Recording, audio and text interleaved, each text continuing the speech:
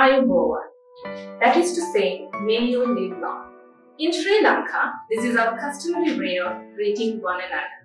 Sri Lanka, a land known for its hospitality. Greet a Sri Lankan Ayubowan to carry a special place in his heart. Harilasana. Harilasana means very beautiful.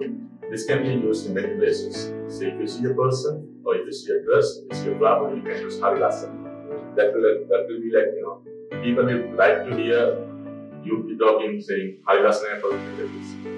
We Sri Lankans, we are known for up to look after one another's well-being.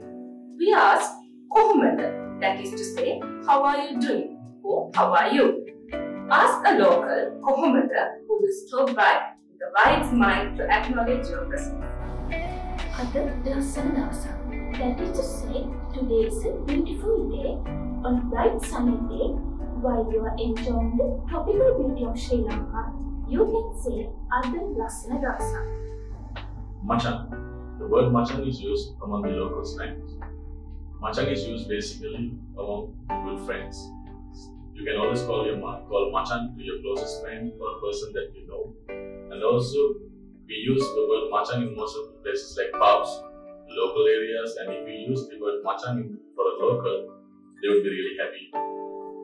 Gana kiyada is how much it is in your a vendor's place or end of your tuk-tuk journey. Let's ask kiyada, which will overwhelm your local vendor.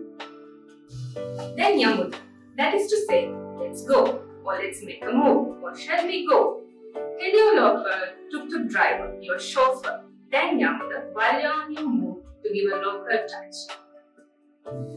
Suba Ratriya. Suba means good, Ratriya means night.